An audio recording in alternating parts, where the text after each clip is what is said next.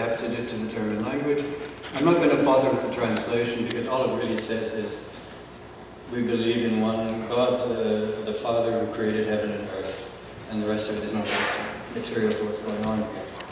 So I'm now going to just sing it in German.